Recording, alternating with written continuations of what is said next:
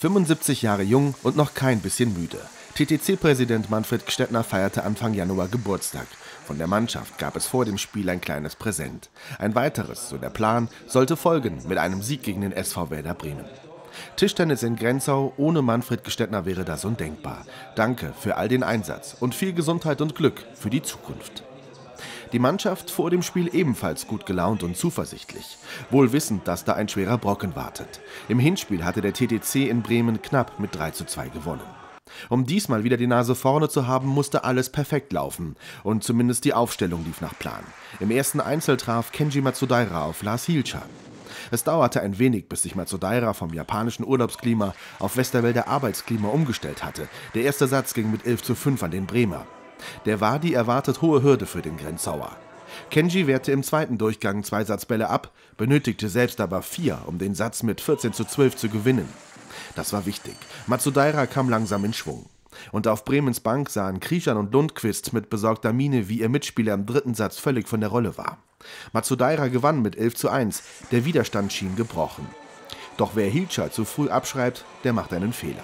Der Deutsche kam noch einmal zurück, holte sich Satz 4 mit 11 zu 9. Dieser Abend sollte ein echter Krimi werden und das hier war erst der Auftakt. Hier die Entscheidung im vierten Satz.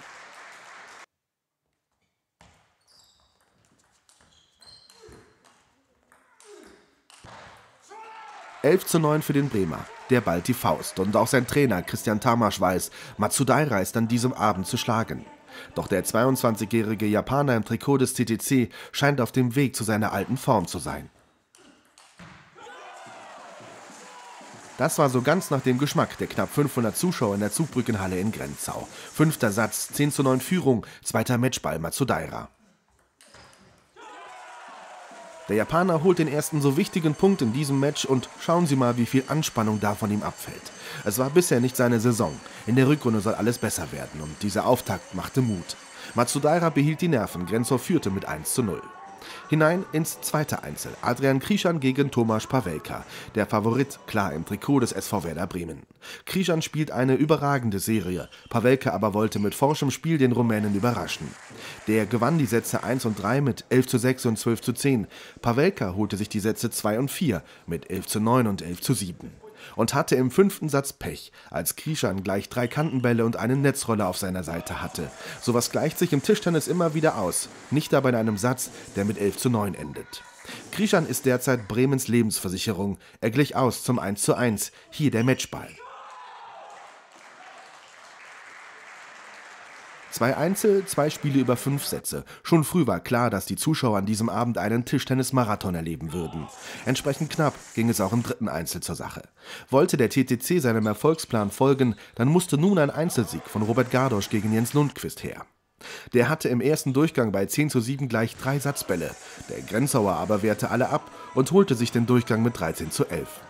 Der zweite ging mit 11 zu 9 an Lundquist, der dritte mit 11 zu 9 an Gardosch. Ein Spiel auf des Messers Schneide. Und wahrlich nichts für schwache Nerven. Vierter Satz, 11 zu 10 steht es für Lundquist.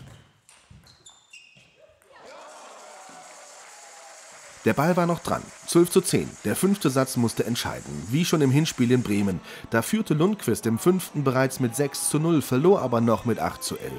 Diesmal war es weniger spannend, Gott sei Dank. Gardosch machte mit einem 11 zu 4 den Sack zu. Erleichterung in der Zugbrückenhalle. Grenzow führte wieder mit 2 zu 1. Es ging in das Duell der beiden Einser, Matsudaira gegen Krischan. Im Hinspiel hatte es diese Begegnung auch gegeben. Der Rumäne gewann damals in vier Sätzen. Diesmal ging es schneller. 11 zu 6, 11 zu 9, 12 zu 10. Der elfte Einzelsieg in der DTTL in Folge. Adrian Krischan ist der Mann der Stunde in der Liga, es stand 2 zu 2. Das Doppel also musste entscheiden. Und hier kehrte Lucian Blaschik überraschend nach langer Verletzung zurück an den Tisch. Ohne grünes Licht des Arztes. Einfach nur mit einem Gefühl, dass es für ein Doppel reichen könnte. Blasczyk und Gardosch gegen Hilscher und Dodian. Auch das war keine klare Sache. 11 zu 5, 12 zu 10, 9 zu 11. Es ging in den vierten Satz. Hier aber behielten die Gastgeber die Nerven und machten den Sieg endgültig perfekt. Nach 255 Spielminuten, das ist DTTL-Saisonrekord, durfte Grenzau jubeln. Stimmen zum Spiel, die Trainer. Es war ein enges Spiel. Wir haben den zweiten Satz 10 zu 7 geführt und den Satz noch verloren. Wenn 1-1 und vielleicht den dritten, dann führt es 2-1, ist was anderes. Es war eng, aber okay. wir haben die äh, Vorrunde gegen Bremen auch 3-2 gewonnen und äh, Aufschlag gegeben, dass der Kenji Dedek am Anfang äh, das erste Spiel gewonnen hat, wo ganz knapp war. Und äh, dadurch sind wir 1-0 ins Führung gegangen und äh, danach äh, hat es fast alles nach dem Plan abgelaufen. Neben Matsudaira war Lucian Blasczyk der Matchwinner. Seine Doppelstärke gab am Ende den Ausschlag. Ja, war schön, wieder am Tisch zu stehen. Also ich habe äh, drei Monate wirklich keinen Ball geschlagen und äh, obwohl ich kein grünes Licht noch von Doktor habe. Äh, und äh, nur nach Gefühl denke ich, dass meine Sehnenriss schon äh, geheilt hat. habe ich entschieden gestern, dass ich vielleicht in Doppelmannschaft helfen kann. Ich habe äh, nur dreimal trainiert und drei Monate vorher wirklich äh, nicht gespielt. Das war ein bisschen riskant, aber dieses Risiko hat sich gelohnt heute und äh, ich habe mein kleines Teil zu heutigen Sieg beigetragen und das war natürlich für mich fantastisch, wieder spielen zu dürfen und dabei zu sein.